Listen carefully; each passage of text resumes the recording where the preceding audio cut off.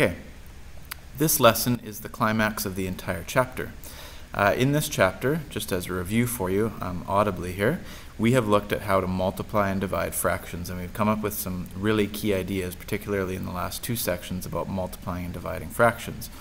Also, in the introduction of this chapter, we reviewed how to add and subtract fractions. So the complicating part of this section is what we're going to do is put all of those things together in one long expression, as well as deal with word problems, uh, which won't be covered in this lesson, but you'll see uh, throughout your assignments uh, to deal with these. So we are specifically are going to be looking at how do we multiply, divide, add, and subtract fractions all within the same long expression. So here's uh, three things to remember and to keep in mind to keep this a little bit more simple and straightforward.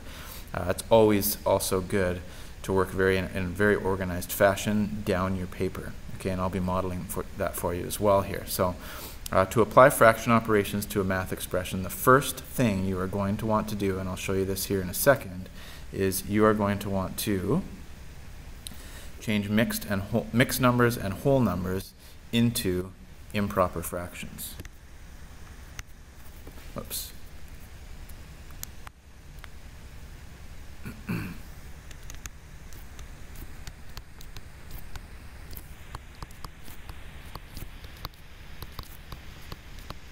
Okay, so what I'm identifying, and we're going to do this one question here. Uh, I'm going to work kind of at the same speed or the same, yeah, the same speed that we're doing the steps in. But what I notice here is here's a whole number, here's an improper fraction, or sorry, a mixed number, and here's another mixed number. So it says any whole numbers or mixed numbers make into improper fractions. So I'm going to, and what you'll see me doing here is working down the page. Uh, and it's always valuable if you're feeling like you sort of understand what's going on it's always valuable to maybe pause this and try it on your own. Uh, we learn the best in mathematics by making mistakes and learning from our mistakes. So uh, 2 I can make into 2 over 1. 1 and 3 quarters is the same as 1 times 4 plus 3, so that's 7 quarters. Uh, 5 over 6 is a proper fraction. We can just leave that alone. And then 1 and 2 thirds becomes 5 thirds. So there's the first step or the first thing that we want to do when we're dealing with fractions. And what you'll notice here is now this all looks like proper fractions or improper fractions. And you'll notice later on that that is probably the easiest way to deal with fraction operations. Okay? So that's the first thing. Uh, second thing to identify is the order of operations. We don't always just do uh, go from left to right as we see them come up. So we're not necessarily going to be doing this adding first.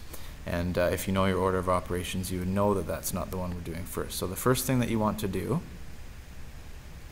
is, and some of your previous teachers or lessons may have noticed that this is called BEDMAS. That's the order of operations. So any operations in brackets, we would like to do first.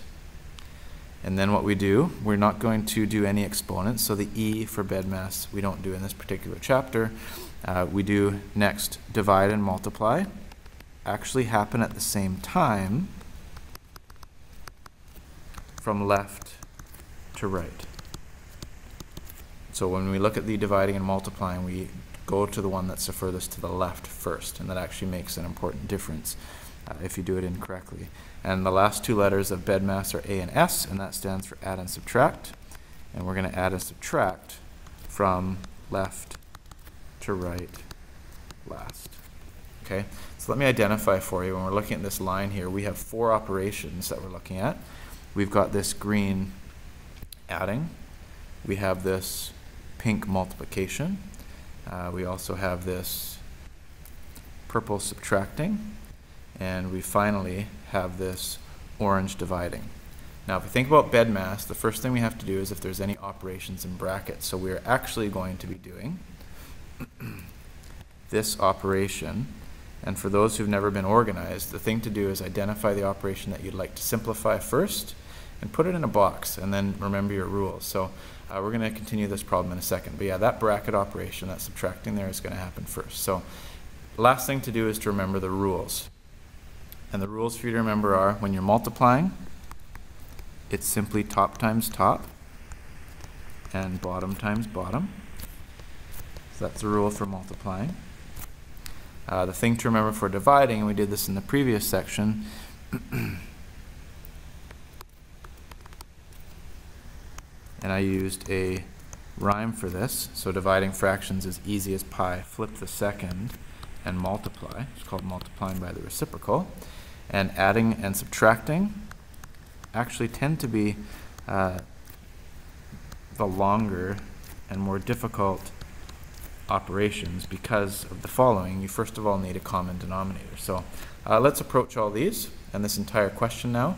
And you might want to pause this, try some things on your own, and, and always be up for a challenge and asking questions. So first thing we want to do is that subtracting operation that's in the brackets. And I notice here that because it's subtracting, we need a common denominator. Those denominators are not the same. Okay, 4 and 6 both go into 12. To make 4 into 12, we times by 3. So we times the top and bottom by 3, and that becomes 21 because 7 times 3 is 21 over 12 because 4 times 3 is 12. And the second fraction, what do we want to multiply that by to make it a common denominator? If your answer is 2, you're correct. So the top, the numerator, 5 times 2 is 10, and the denominator is 12.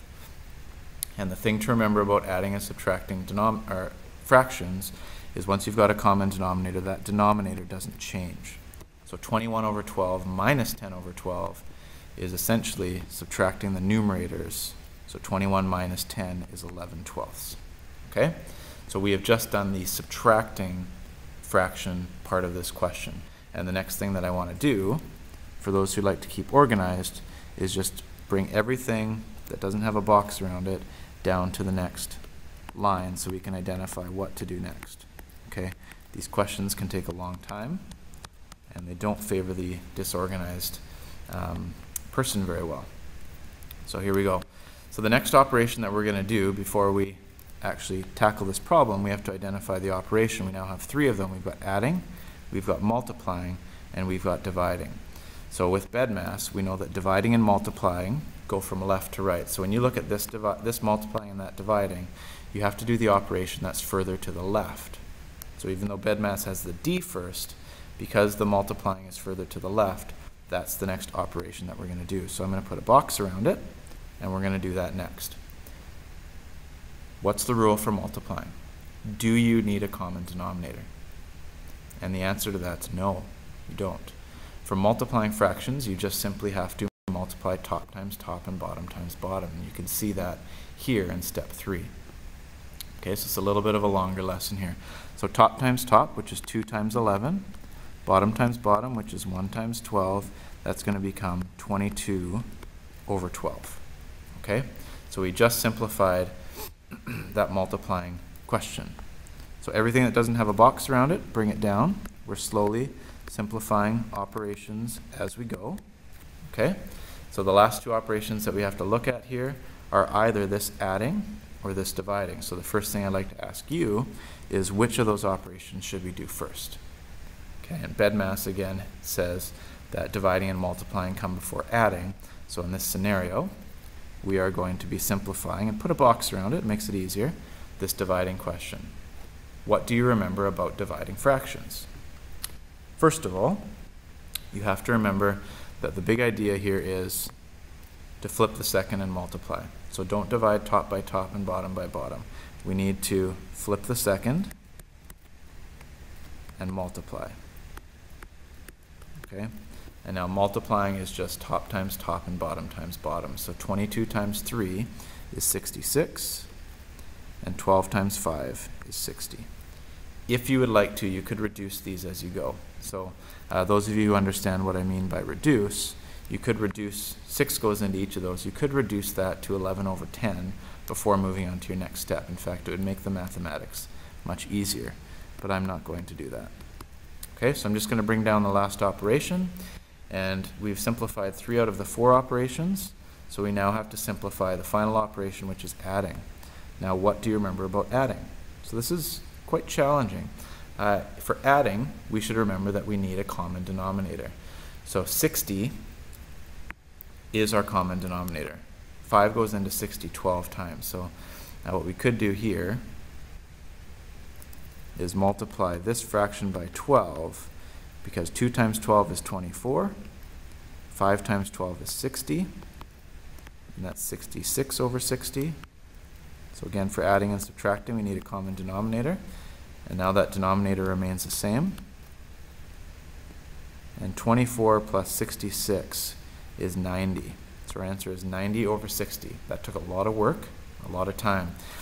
Uh, and now we can reduce this into lowest terms. So 90 divided by 10 is 9. 60 divided by 10 is 6. You might notice we can divide those by 3, so this becomes 3 over 2.